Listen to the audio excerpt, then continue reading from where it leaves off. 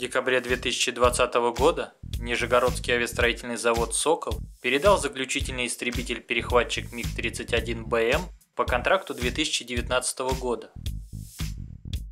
Летно-технические характеристики МиГ-31БМ. Экипаж 2 человека.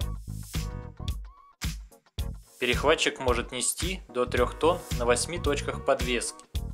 Также он вооружен шестиствольной 23 миллиметровой пушкой. МиГ-31 официально именуется воздушным кораблем, так как его взлетная масса более 40 тонн. До уровня МиГ-31БМ модернизируются две модификации.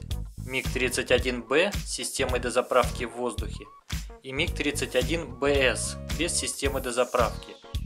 Модернизированный перехватчик МиГ-31БМ получил новый РЛС заслон АМ с увеличенной до 320 км дальностью обнаружения.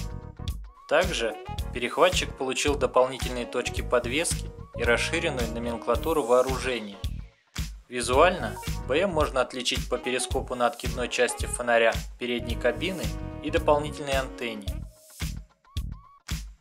С Минобороны на поставку самолетов МиГ-31БМ было заключено несколько контрактов.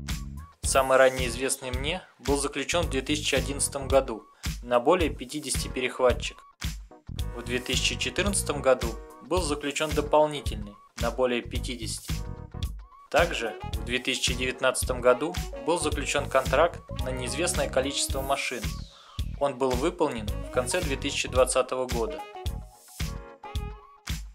Модернизацией МиГ-31БМ занимаются Нижегородский авиационный завод «Сокол» в Нижнем Новгороде и 514 авиационно-ремонтный завод в Оржеве.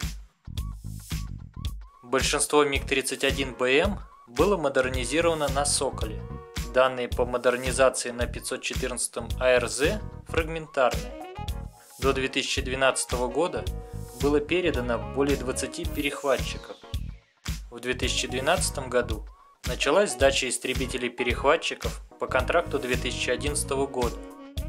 К концу 2018 контракты 2011 и 2014 годов были по всей видимости выполнены а в 2020 году был выполнен контракт 2019 года.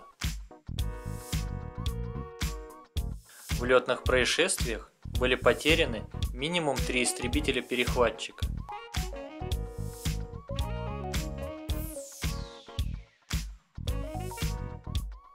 Сейчас в составе морской авиации и ВВС числится около 150 истребителей-перехватчиков МиГ-31БМ. Если вам понравилось, ставьте лайк, подписывайтесь и пишите в комментариях, сможет ли Су-57 заменить МиГ-31 и нужен ли российской армии новый истребитель-перехватчик пятого поколения.